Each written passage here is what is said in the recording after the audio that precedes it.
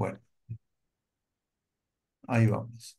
Eh, esta, estamos mirando entonces este aporte que hiciste, Juan Bautista, de este, esta publicación de Mel Bay, que a mí, eh, a mí me gustaría ver, acá vemos esta, de esta publicación que es de 1994, vemos un prólogo que lo hizo, eh, que lo hizo, ¿quién? Mel Bay. Y esa, ese prólogo Vamos, es necesario que leamos el prólogo para ver si vamos a- cómo vamos a evaluar esto. Eh, el propósito de la revisión de este método, famoso método de guitarra es doble. Quiero que lean ustedes y, y me digan ustedes qué piensan de esto.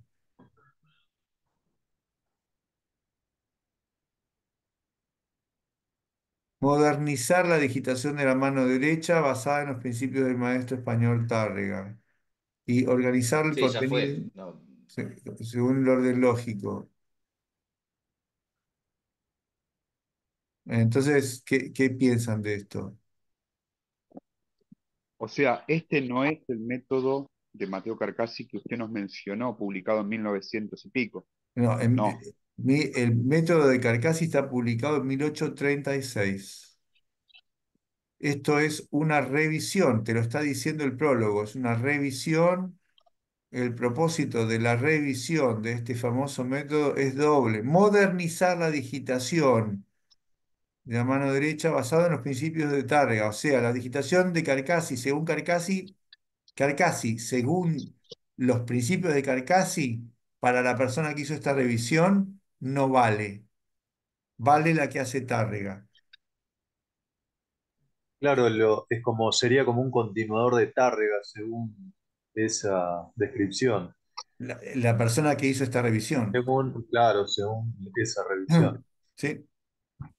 Lo, cual implica un supuesto muy problemático, que es decir que la gente de la escuela de Tárrega sabía más sobre cómo tocar bien la guitarra que la gente de la escuela de Carcassi y Carcassi mismo. Esto ya es, para mí, a mí me hace ruido, me da dolor de panza. Organizar el contenido en un orden lógico con fines didácticos y de estudio, lo cual supone que, según la persona que hizo esta revisión, Carcassi ordenó mal su método. ¿No? Yo saco como conclusión que la persona que hizo esta revisión considera que el método, que Carcassi era un nabo. Está publicando el método de Carcassi porque es buenísimo, porque Carcassi era un virtuoso, pero Carcassi era un nabo, porque no sabía ni siquiera ordenar con los contenidos pedagógicos ni digitar la mano derecha. O sea, para mí esto es basura directamente, este, e- esta, esta publicación. No la puedo juzgar de otra manera porque, eh, eh, porque se considera, eh, cons- considera superior la posición de Tárrega o la posición suya que la posición del propio autor. ¿Se entiende? Yo no, o sea, a mí no, no me agrada ser agresivo, pero la verdad que esto a mí me, me, me- me parece que esto hay que tirarlo a la basura. Hay que aprender del método de Tárrega según Tárrega. Eh, perdón, Carcassi según Carcassi. ¿Sí? Y para eso estamos haciendo este tipo de cursos, para ap- aprender eh, la, la- qué manera tiene de pensar un compositor y de organizar la técnica, porque si queremos tocar música de este compositor, tenemos que conocer su manera de, de- de pensar la estética y la técnica e incorporarla. ¿Sí? Claro, yo eh, había encontrado eso y lo compartí justamente, bueno, para que lo, para que lo viésemos, porque, claro, el otro día había mencionado que le había, le había parecido eh, ver o, o- o usted tiene en posesión un, mé- un método Carcassi republicado o algo así, que no sé si está en la carpeta compartida de Mega, ahora lo, lo iba a mirar. Sí, Eh, sí, está todo. está- lo que yo acabo, ahora tienen en pantalla, ustedes tienen eh, el método original, que es este que está acá. Este es el que fue publicado en vida por Carcassi. ¿sí? Esto está en, en la, ¿cómo se llama? Eh, está en, en, el Petrucci, en IMSLP, digamos, no, no es que yo hice un milagro para encontrarlo. Este, perdón que voy a, lo voy a achicar un cachito porque está muy grande. Es este el que se publicó en Vida, ¿sí? Que dice, vamos a leer bien porque de la, de la correcta lectura, de la adecuada lectura de, los principios expre- expresados en los textos, viene la correcta interpretación del sentido que le da el autor a cada palabra. Método completo de la, guitarra dividido en tres partes. Las dos primeras partes contienen, los principios elementales de la música, de, de la teoría del instrumento, los ejemplos y las lecciones necesarias clasificadas sucesivamente para facilitar la aplicación. Y la tercera parte contiene 50 piezas elegidas de diferentes caracteres compuestas expresamente para esta obra eh, a propósito de eh, eh, de, de alentar, alentar a los alumnos eh, en sus estudios. Y aquí tenemos entonces la portada de este método, ¿sí? que es el Opus 59. Y yo quiero insistir sobre un punto que es, eh, permítanme encontrarlo, que es este.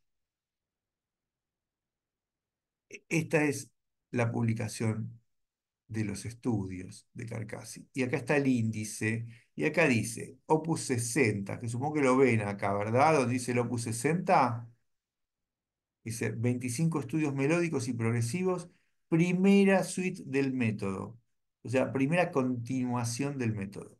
Se supone que si uno quiere tocar, tocar bien la guitarra, en, en la moda de la guitarra de, eh, que, que había en, en la década de 1830, 40, en la- eh, 1820 y tal vez más bien 1830, para tocar la música que estaba de moda en ese momento, tiene que seguir este método que va con la primera parte, aprender música y los principios de la guitarra y las lecciones necesarias para facilitar la aplicación de la teoría de la música en la guitarra.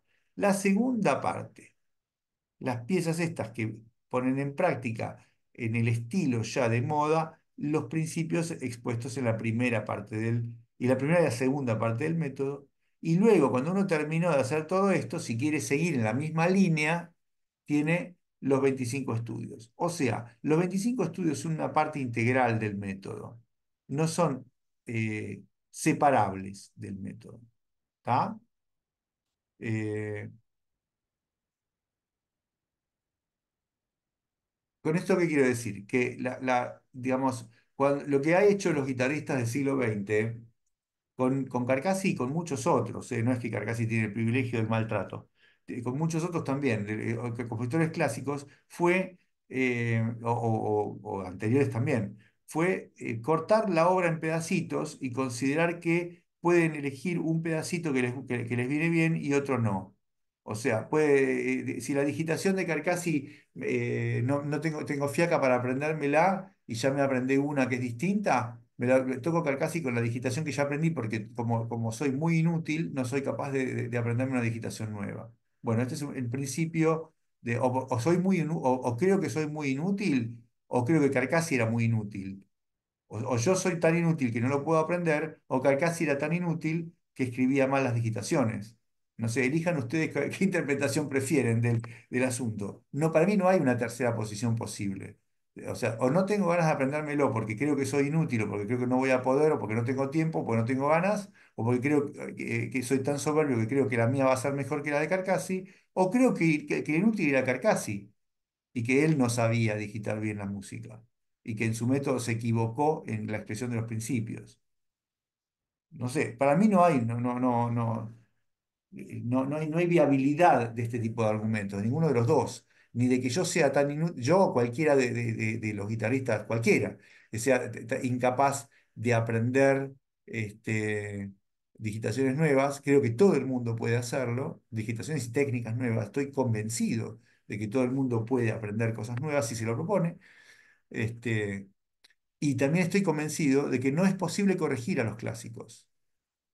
Y eso no significa tener una postura eh, fundamentalista. Sino que quiere decir que si yo quiero tocar esta música, estos tipos pensaron muy bien cómo, cómo armar la técnica. Me tengo que aprender esa técnica, ¿sí? No la puedo discutir sin saberla.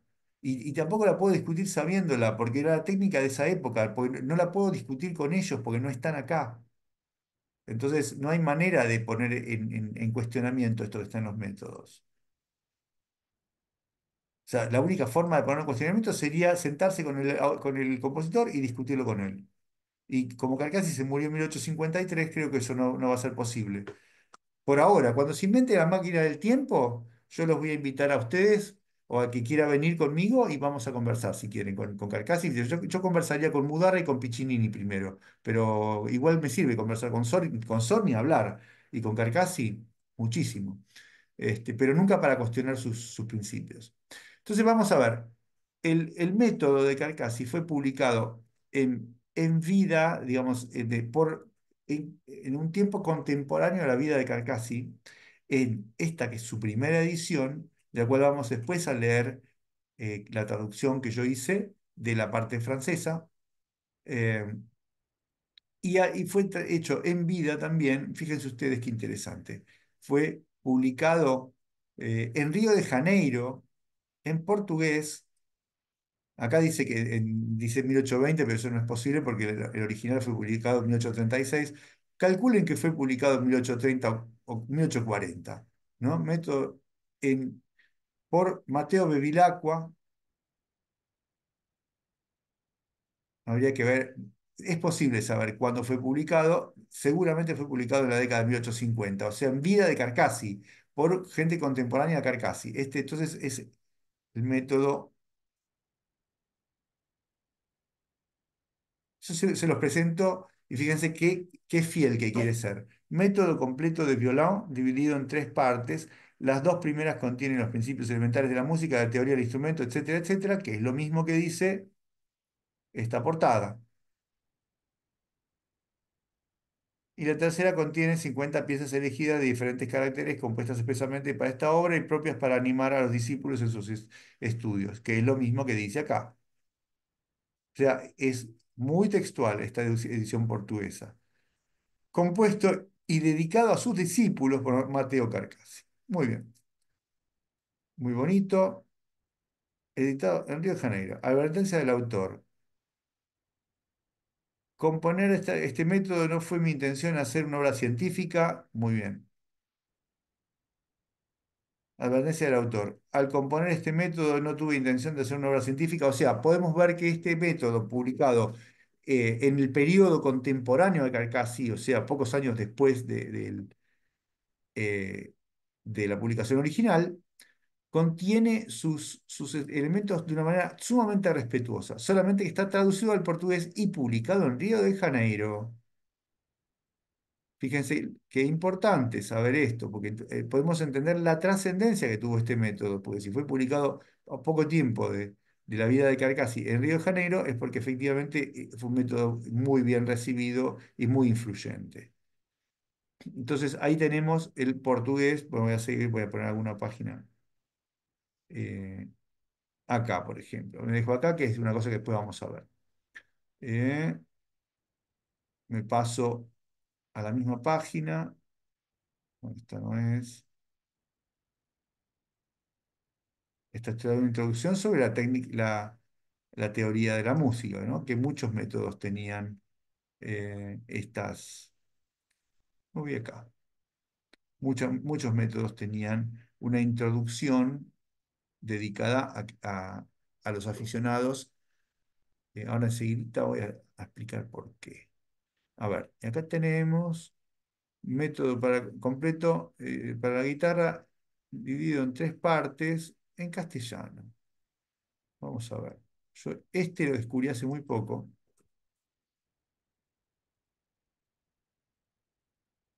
Y no tengo datos de la edición, no sé de cuándo es. O sea, sé que no es del siglo XX advertencia del autor, ahí va, me quedo acá, y acá me quedo con la edición inglesa, que también es, eh, fíjense ustedes, editada en Estados Unidos, Boston, Nueva York, Chicago, Filadelfia.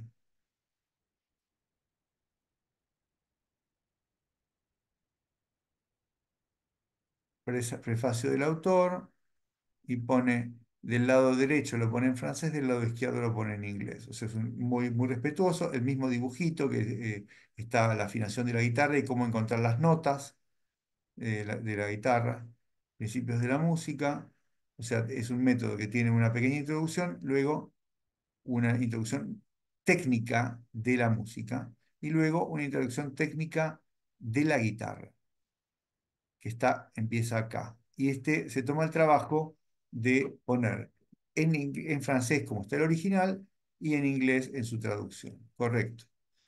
Muy bien. Entonces tenemos, para darnos una idea de la trascendencia del método, podemos ver, contemporáneo a la vida de Carcassi, fue publicado en, bueno, este es el de Carcassi, en francés y en alemán, este es en portugués, hay una traducción inglesa y una traducción española. Bastante bien le fue con esto, ¿no? Bien. Entonces ahora vamos a empezar a leer la sustancia de este método para, para que nos demos cuenta también y para que nos ayude esto. Eh, si me permiten, prefiero verlos ahora. Eh, quiero que, me parece que es muy importante que veamos que, porque estamos acostumbrados a estudiar el método en español, creo que sí está en la carpeta, Juan Pablo. ¿eh? Eh, espera, perdón, me voy a fijar, voy a, antes de seguir con esta disquisición filosófica, me voy a fijar, pero estoy 99% seguro que está en la, carpeta. Ya me estoy mirando, ¿eh?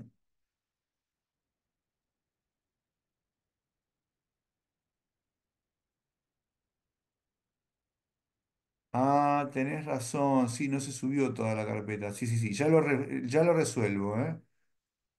Ya lo, resuelvo apenas terminemos esta clase, o lo, resuelvo ahora, así, este, sí, evidente, porque se me interrumpió la subida de, del material acá, este, porque lo estaba haciendo en el conservatorio y me tuve que ir.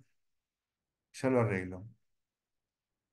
Disculpen un instante, así podemos estar seguros de que van a tener todo lo necesario. Mm-hmm.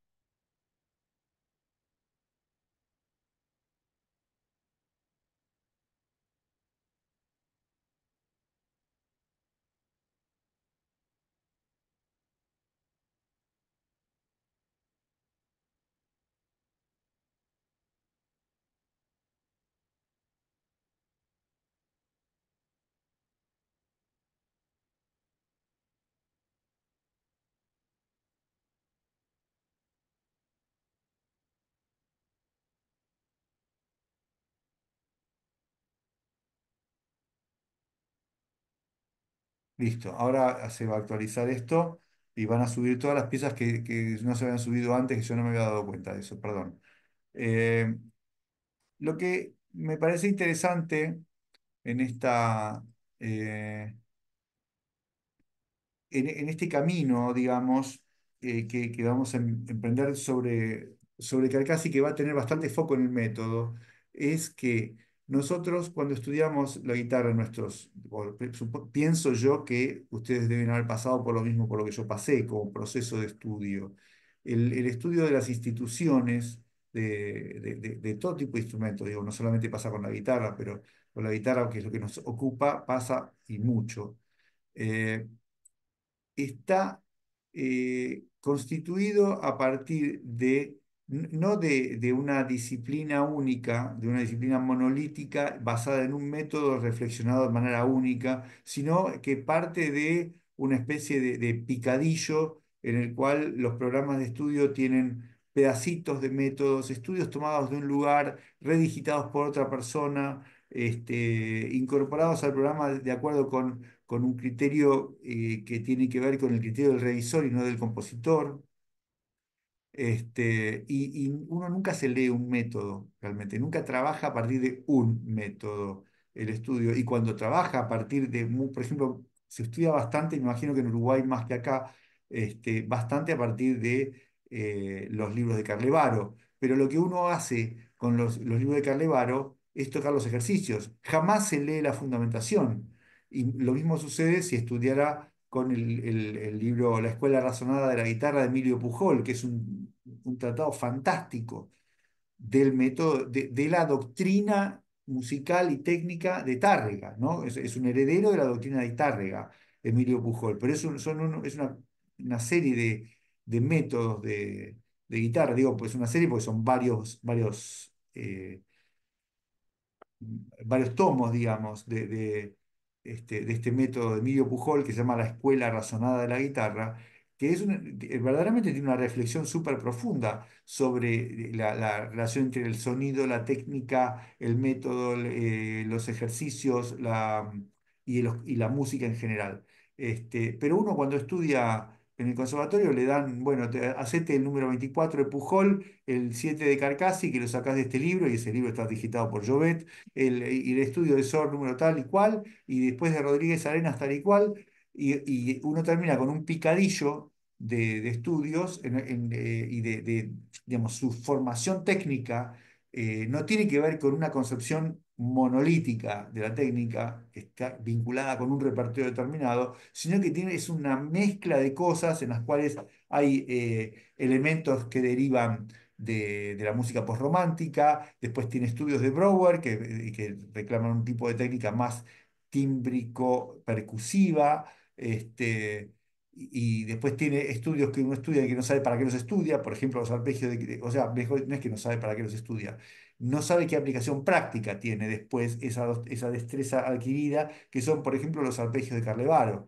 el del libro segundo de Carlevaro, uno los estudia, y yo lo hice, digamos, y no me arrepiento de haberlo hecho, pero lo que estoy un poco reflexionando es sobre el- la problemática que hay en el sentido de que uno va nutriéndose de fuentes muy diversas, sacando elementos de contexto, sacando los estudios de su contexto originario. Y esos estudios tienen sentido, pues son parte de un proceso concebido por el autor eh, y ese proceso debería, para que uno tenga una, una técnica sólida, sólida en el sentido de tener, no solamente que los dedos le funcionen, sino de que la cabeza le funcione. La cabeza le funcione para saber qué recursos tiene y cómo los puede utilizar y en qué repertorio. Uno debería tener una guía, eh, un- una guía que tenga una filosofía única.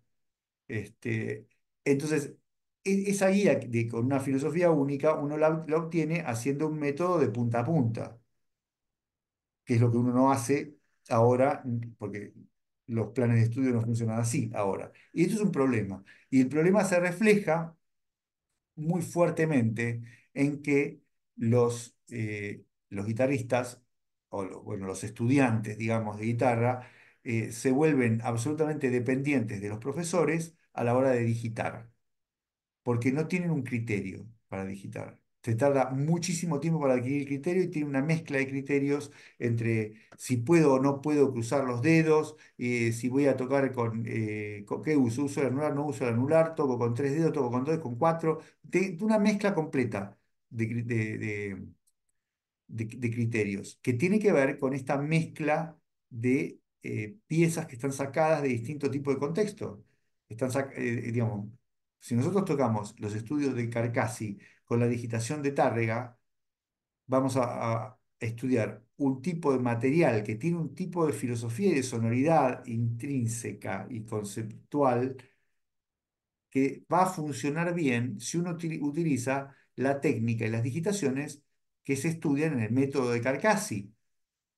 Si yo agarro las notas y los ritmos del estudio de Carcassi y le pongo la digitación de 100 años después, esa música va a sonar desnaturalizada, no va a poder expresar su verdad, pero además no voy a aprender los criterios que son intrínsecos a la, a la música de Carcassi, porque les estuve poniendo otros criterios encima que son de otra época, que son de otro concepto. Entonces, cuando después vaya a tocar yo una obra, eh, o otra obra de otro estilo, no voy a saber cómo digitarla, porque no me aprendí ni un criterio ni el otro. Si yo soy, sigo o, peor todavía, si me aprendí muy a fondo los principios de, la escuela de Emilio Pujol y quiero tocar solamente un programa de SOR, voy a tocar todo mal. Un programa de SOR o SOR o Carcassi y Giuliani, voy a tocar todo mal. Porque voy a tener incorporados en mis dedos y en mis elecciones criterios que están fuera de los criterios originarios, fuera de los criterios con los cuales fue concebida esa música. Entonces esa música no va a funcionar y va a ser más difícil de tocar porque no tengo la técnica adecuada y va a sonar cualquier cosa, además. Entonces tenemos este problema de la falta de unidad de criterio, es el que yo quisiera eh, plantearles una, una solución posible. No es, esto no quiere decir que una vez que uno se lee el método de Carcassi, se estudia el método de Carcassi, tiene que tocar todo según el método de Carcassi. No, señor, no estoy diciendo esto. Estoy diciendo que tener una base fundante permite esclarecer un método fundante, un método sólido por detrás, permite esclarecer los criterios con los cuales después voy a tocar la música de ese tipo de contexto. Entonces, en ese tipo de música no voy a tener ninguna duda de cómo digitarla si yo me estudié el método. No voy a tener ninguna duda. Si yo no estudié ningún método y estudié todo picadillo, no voy a tener ningún criterio para digitar nada. Y voy, recién voy a poder tener un criterio, entre comillas, personal, cuando ya tenga 20 años después de haber terminado el conservatorio. O no sé, o 10 años después de haber terminado el conservatorio. Voy a digitar y, siempre de una manera eh, provisoria e insegura, porque no voy a saber si el criterio mío personal se corresponde con el criterio del autor de esa obra. Esto, digamos, este es un problema de la educación guitarrística, un problema, o sea, de la educación contemporánea y particularmente de la guitarrística. Eh, si ustedes miran, eh, por ejemplo, la, técnica para sacar, los voy a sacar un poquito de contexto, pero se van a dar cuenta enseguida del asunto. La música escrita, la música del siglo XVI, para el para vihuela, ¿sí? estoy hablando del Renacimiento, esa música no tiene digitaciones y no tiene indicaciones, ninguna. O sea, algunas de esas piezas tienen alguna indicación de mano derecha, de qué, notas van con el índice. Pero en muchos casos no es ni necesario eso, porque todo, todo el mundo sabía que los bicordios, por ejemplo, cuando toco dos cuerdas, las tengo que tocar con pulgar y mayor. Y cuando toco notas que están ubicadas eh, en, la parte par del compás o par de la subdivisión, quiero decir, cuando toco, cuatro corcheas, toco la, número 2 y la número 4, las tengo que tocar con el índice, porque son notas débiles y se tocan con un dedo débil, que es el índice. El índice es débil. Entonces yo ya lo sé, el índice es débil, no importa lo que yo piense a nivel subjetivo, el índice es conceptualmente el dedo débil. Entonces todas las notas que están en un lugar débil del compás las toco con un dedo, débil, que es el índice. Lo cual significa que los dedos fuertes, que son el pulgar y el mayor, tocan en los lugares fuertes del compás o de la subdivisión del compás. Esto ordena, ordena el criterio eh, automáticamente. Yo ya sé que el anular no lo puedo usar para tocar eh, eh, melodías. Solo lo voy a utilizar en acordes de cuatro sonidos. Listo. O, cinco sonidos. Ya está. el anular no se usa si no es para eso. Tengo ya el criterio fijo, claro. No me voy a equivocar en, la, elección de las digitaciones de mano derecha porque esto lo tengo claro. Si además me estudié eh, algunos de los criterios que están en, algunos de los métodos, que son tres o cuatro del Renacimiento, para la formación de la mano izquierda, estudié 10 ejercicios y ya tengo la mano izquierda formada. Y ya, ya sé cómo tengo que organizarla a la mano izquierda. Entonces no me hace falta poner los dedos ni siquiera. Si tengo hecho los ejercicios, tengo el criterio formado. Con los métodos clásicos pasa lo mismo. Tienen una solidez que a uno le forma el criterio. Entonces, si ustedes agarran ediciones de época, ediciones del siglo XIX, de, casi de cualquier compositor, digamos, ¿no? Del siglo XIX, van a ver que no tiene digitaciones. ¿Y por qué no tiene digitaciones? Porque los criterios de la técnica del siglo XIX no son un flan, son criterios absolutamente sólidos y la gente que estudia con esos métodos no le hace falta digitar la música porque ya sabe cómo organizar los dedos. O sea, eh, la, gente adquiría criterios con mucho más solidez y antes de lo que los adquiere ahora. Y eso sucede porque ahora hacemos de la guitarra un instrumento ómnibus y tenemos una, técnica que es un, un picadillo. Entonces no sabemos cómo utilizar los conocimientos porque los tenemos todos desperdigados.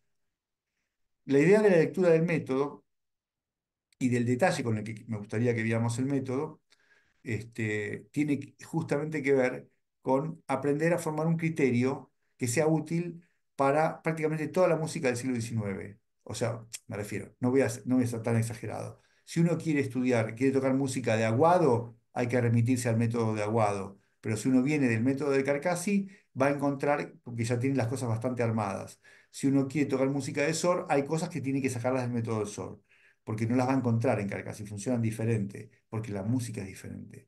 Eh, si uno quiere tocar Giuliani, tiene que hacer ciertos ejercicios que están en el método Giuliani, porque no están en los otros métodos.